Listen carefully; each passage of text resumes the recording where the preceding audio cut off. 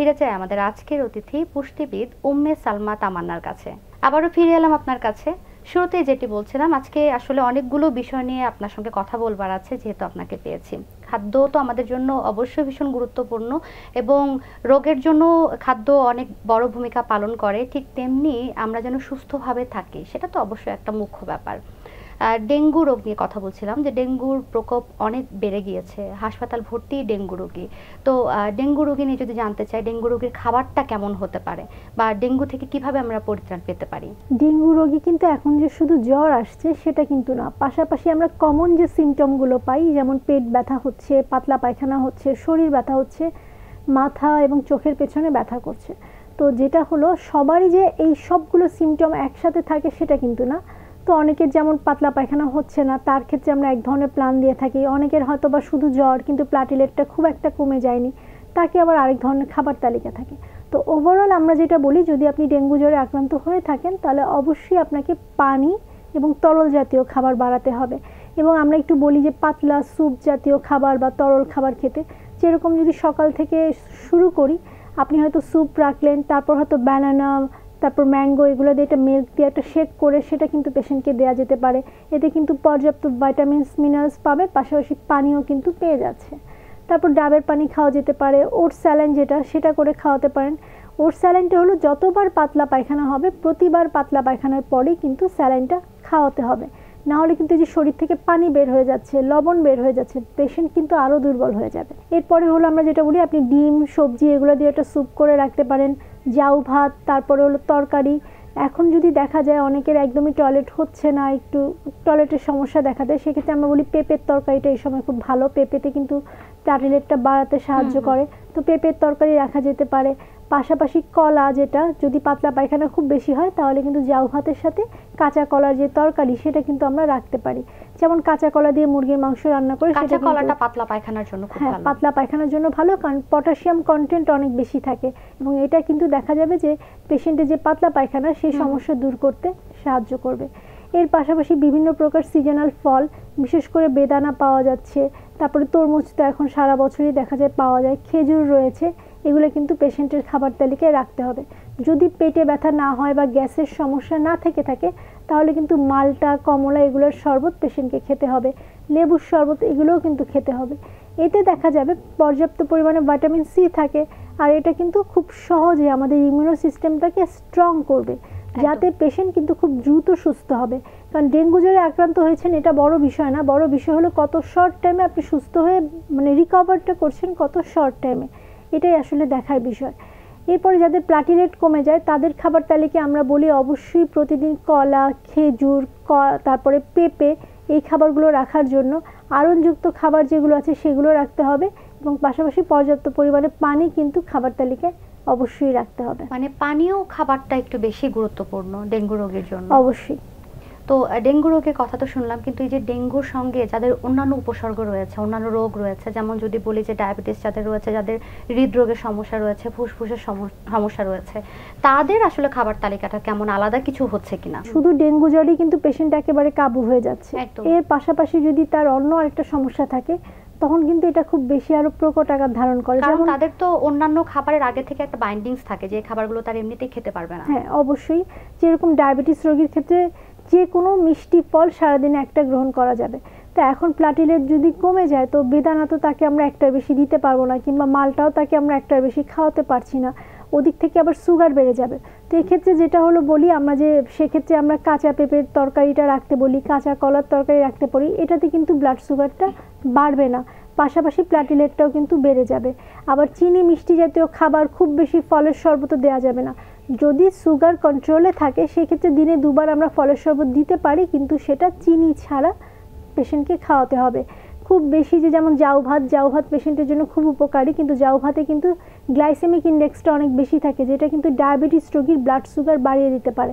তো এরকমভাবে একটু বুঝে শুনে আসলে ডায়েট ফলো করতে হবে। যদি সুগার কন্ট্রোলে থাকে, ছয়, আট এরকম থাকে, সেক্ষেত্রে জাউ ভাতটা হয়তো পেশেন্ট খেতে পারবে, একবেলা বা দুবেলা। কিন্তু যদি হলো যে আরও বেশি থাকে, তখন কিন্তু স্বাভাবিক যে ভাত বা লাল চালের ভাত, সেটাই কিন্তু পেশেন্টকে একটু কষ্ট করে খেতে হবে। অথবা চিকেন স্যুপ চিকেন এবং ভেজিটেবল দিয়ে স্যুপ করে কিন্তু আমরা পেশেন্টকে দিতে পারি। কারণ চিকেনে আপনার যেমন প্রোটিন এটা কিন্তু সুগার বাড়াবে না। ভেজিটেবল এটাও সুগার বাড়াবে না। তো চিকেন ভেজিটেবলের স্যুপ যেটা, এটা কিন্তু পেশেন্টের জন্য উপকারী। এখানে আবার আরেকটা বিষয় আছে। ডায়াবেটিসের সাথে তার কিডনি সমস্যা আছে কিনা? সিকেডির প্রবলেম যদি থাকে, তখন কিন্তু আবার চিকেনও আমরা অতিরিক্ত দিতে পারব না, সব ধরনের সবজি ব্যবহার করতে পারব না। তো আসলে পুরো বিষয়টা যাদের অন্য আরও ধরনের কমপ্লিকেশন আছে ডেঙ্গুর পাশাপাশি, সেটা কিন্তু আরও প্রকট আকার ধারণ করছে এবং তাদের সুস্থ হতেও একটু সময় লাগছে।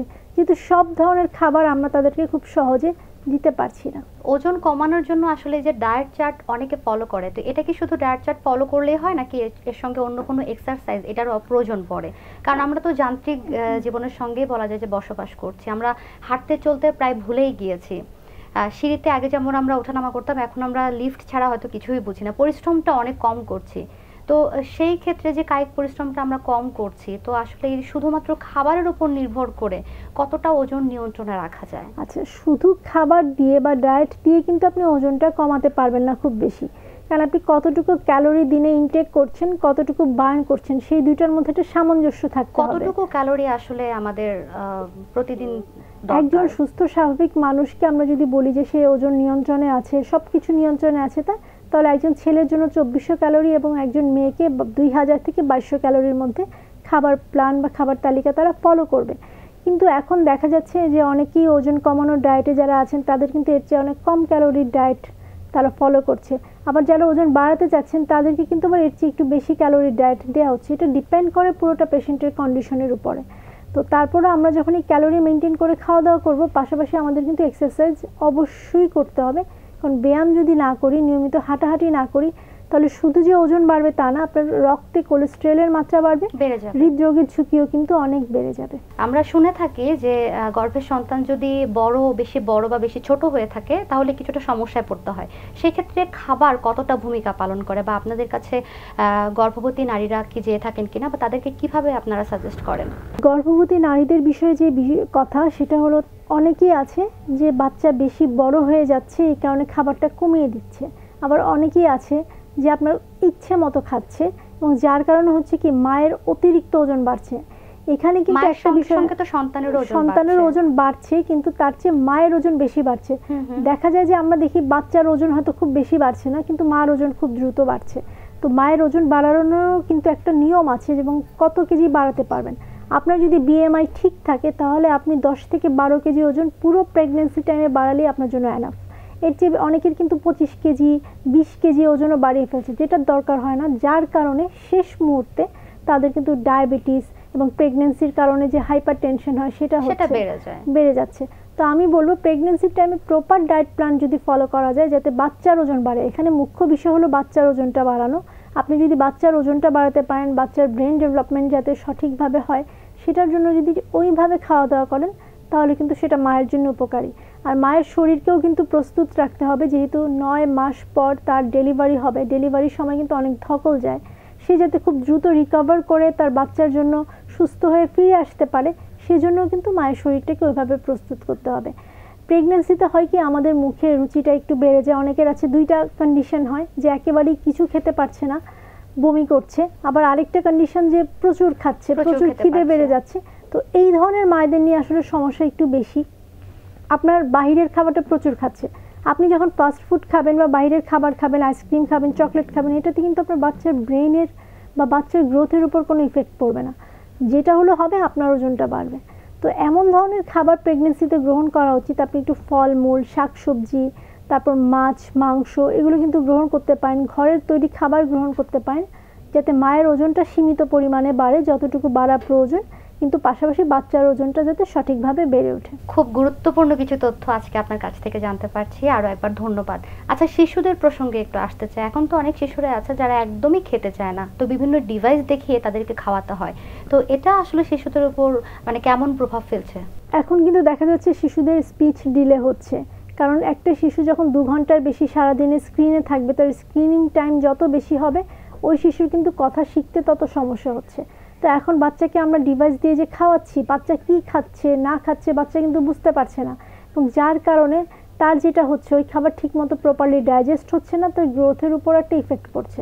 যেই ধরনের বাচ্চারা ডিভাইস দেখিয়ে খাওয়ানো হয়, সেই ধরনের বাচ্চাদের আসলে দুইটা প্রবলেম সেটা হলো মায়েরা যখন নিয়ে আসে, একদমই ওজন কম, বাচ্চার হয়তো গ্রোথ হচ্ছে না। আদারওয়াইজ বাচ্চার ওজন অতিরিক্ত ওজন। যখন আমাদেরকে বলা হয় আড়াই বছর, তিন বছরের বাচ্চার যে ওজন কমাতে হবে, সেটার জন্য যদি ডক্টর রিকোয়ারমেন্ট দেয় যে এই তিন বছরের বাচ্চার অতিরিক্ত ওজন, তখন আসলে এই জিনিসটা খুব মানে আমাদের জন্য কষ্টদায়ক। কারণ এত ছোট বাচ্চাকে আমরা কীভাবে খাবার রেস্ট্রিকশন দিব? এবং এই ধরনের বাচ্চারা যখন স্ক্রিন দেখছে, পাশাপাশি খাচ্ছে, সে কি খাচ্ছে সে জানছে না। সে বাইরের খাবার খাওয়ার প্রতি তার আগ্রহ বেশি, সে দেখতে দেখতে অনেক খেয়ে ফেলতেছে। এবং যার কারণে কিন্তু ওজন বাড়ছে। এই ক্ষেত্রে একটু সতর্ক থাকতে হবে। এখনকার বাচ্চারা কিন্তু একেবারে খেলার সুযোগ পাচ্ছে না কারণ খেলার সে পর্যাপ্ত জায়গাটা কিন্তু নেই। হ্যাঁ এই কারণেও কিন্তু আর স্ক্রিনে বেশি আসক্ত হচ্ছে কারণ সে খেলবে কার সাথে খেলবে কোথায় খেলবে? এবং যার কারণে বাবা মাও একটু ইনসিকিউরিটিতে ভুগে যে বাচ্চাকে কোথায় খেলতে পাঠাবো? তখন কিন্তু দেখা যায় আচ্ছা কি করবে? একটা বাচ্চা সারাদিনে একটা পুরো সময় পুরো দিন সে কি করে কাটাবে? তখন কিন্তু সেই অল্টারনেট অপশন হিসেবে সে স্ক্রিনিং টাইম বা ডিভাইসটাকে বেছে নিচ্ছে। এবং যার কারণে কিন্তু বিভিন্ন কমপ্লিকেশনগুলো এখন হচ্ছে। একজন শিশুর খাদ্য তালিকাটা কেমন হতে পারে? আদর্শ খাদ্য তালিকা। আচ্ছা এক্ষেত্রে আমরা বলি শিশুকে হলো সব ধরনের খাবারই দিতে হবে। ঘরে তৈরি খাবার দেওয়া যাবে মাছ মাংস ডাল। শিশুকে অবশ্যই একটু ঘন ডাল খাওয়াতে হবে।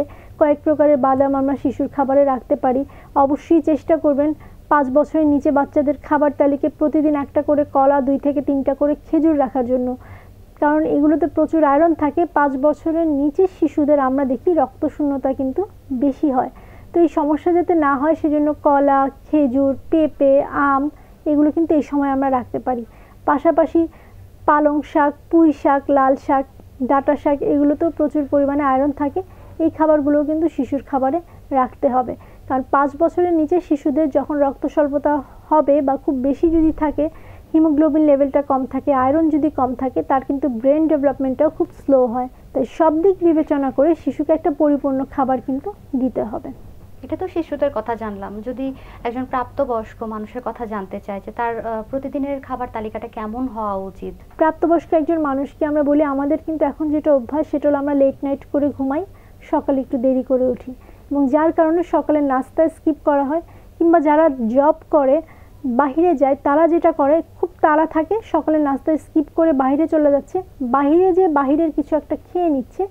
এরপর যেহেতু পেটে তার খিদে থেকে যাচ্ছে, তো দুপুরে সে খুব বেশি ওভার খেয়ে ফেলছে, যার কারণে কিন্তু ওজনটা বাড়ছে এবং পেটের মেদ বা ভুঁড়ি বেড়ে যাচ্ছে। তো এক্ষেত্রে প্রাপ্তবয়স্ক একজন যারা রয়েছেন, তারা চেষ্টা করবেন খাবার তালিকায় কমপ্লেক্স কার্বোহাইড্রেট এটা একটু রাখার জন্য। লাল চালের ভাত, লাল আটার রুটি, এগুলো কিন্তু নিয়মিত খেতে পারেন। দুবেলা রুটি রাখা যেতে পারে, কিংবা আপনি একবেলা ভাত, একবেলা রুটি, অথবা একবেলা ওটস বা কর্নফ্লেক্স এগুলো কিন্তু রাখতে পারেন। দুধ খেলে আমরা যেটা করি ফুল ক্রিম মিল্ক খাই এবং খুব ঘন করে জাল দিয়ে একটু শর্টটা নিয়ে খেতে পছন্দ করি। তো প্রাপ্তবয়স্কদের আমি বলব, দুধ একটু কম জাল করে যাতে ঘন না হয় এবং উপরে শর্টটা সরিয়ে রেখে, চাইলে বাসায় বাচ্চা থাকলে তাদের খেতে দেওয়া যেতে পারে, কিন্তু নিজেদের কিন্তু এই সময় দুধের যে সর সেটা খাওয়া যাবে না। এভাবে করে কিন্তু খাওয়া যেতে পারে। আর অন্তত দিনে এক প্রকারের ফল খাবার তালিকায় রাখতেই হবে। এবং চেষ্টা করতে হবে সালাদের পরিমাণ রাখার জন্য। সালাদ, কারণ আমরা তো সবজি খাচ্ছি, সেটা রান্না হচ্ছে, কিছু নিউট্রিয়েন্ট কিন্তু লস হচ্ছে। কিন্তু সালাদ যখন খাব, সেটা কিন্তু র থাকছে। সো, সব ধরনের উপকরণই কিন্তু আমরা পেয়ে যাচ্ছি এবং পুষ্টিগুণ কিন্তু পাচ্ছি, যেটা আমাদের জন্য দরকার। তাই দিনে অন্তত একবেলা আমাদের খাবার তালিকায় সালাদটা রাখার জন্য। আর রাতের খাবার অবশ্যই ঘুমানোর দু ঘণ্টা আগে শেষ করতে হবে। একেবারেই শেষ পর্যায়ে চলে এসেছি। শেষ আরও একটি বিষয় জানবার ছিল ঘুম তো আমাদের জন্য খুব উপকারী কিন্তু আমরা যদিও দেরি করে ঘুমাতে চাই প্রায় বলা যায় যে সবাই দেরি করে ঘুমাতে চায়। তো ঘুম আসলে আমাদের জন্য কতটা দরকারি? ঘুম যদি আপনার ঠিক মতো না হয় তাহলে কিন্তু আপনার কোনো কাজে মন বসবে না। দ্বিতীয়ত যতই ভালো খাবার গ্রহণ করেন সেটা কিন্তু ডাইজেস্টও হবে না রোগ প্রতিরোধ ক্ষমতাও বাড়বে না। একজন প্রাপ্তবয়স্ক মানুষের সাত থেকে আট ঘণ্টা ঘুমানোর দরকার। কিন্তু আমরা কিন্তু অনেকেই সেটা ঘুমাচ্ছি না আবার অনেকে ঘুমালেও একটু বেশি ঘুমাচ্ছি। দেখা যায় রাত সারা রাত জেগে থেকে অনেকে দিনের বেলা বেশি ঘুমাচ্ছে নয় দশ ঘন্টাও ঘুমাচ্ছে। কিন্তু সেটা কিন্তু কোনো কাজে আসবে না। যদি না আপনি আপনার জন্য যতটুকু ঘুমানো দরকার সেটা ঠিক সময় মতো ঘুমাচ্ছেন তখনই কিন্তু আপনি খুব সহজে সুস্থ থাকতে পারবেন। অসংখ্য ধন্যবাদ। অনেক গুরুত্বপূর্ণ তথ্য জানতে পারলাম আপনার কাছ থেকে। আমাদের আয়োজনে আসবার জন্য আরও একবার ধন্যবাদ এবং শুভকামনা আপনার জন্য। আপনাদেরকেও অনেক ধন্যবাদ এত সুন্দর একটা প্রোগ্রামে আমাকে আমন্ত্রণ জানানোর জন্য। প্রিয় দর্শক, এতক্ষণ কথা হচ্ছিল অতিথির সঙ্গে। এবার সময় হলো বিদায় নেবার। আমাদের অনুষ্ঠান সম্পর্কে আপনার যে কোনো মতামত ও পরামর্শ জানাতে লিখুন এই ঠিকানায়। প্রযোজক দিন প্রতিদিন বাংলা ভিসা নূর টাওয়ার একশো দশ বীরত্তম সিআর দত্ত রোড, ঢাকা এক দুই শূন্য পাঁচ, ফোন নয় ছয় তিন দুই শূন্য তিন শূন্য থেকে চার। আমাদের ইমেল অ্যাড্রেস দিন প্রতিদিন at Bangla vision dot TV মার্কিন নেতা মার্টিন লুথার কিং জুনিয়রের একটি উক্তি বলে বিদায় নেব আজ। তিনি বলেছেন যে, মানুষ কোনো কারণের জন্য মরে না, সে বাঁচার উপযুক্ত নয়। প্রিয় দর্শক, সবাই ভালো থাকুন, সুস্থ ও সুন্দর থাকুন। আজ সারাদিন সবার জন্য শুভ ও কল্যাণময় হোক।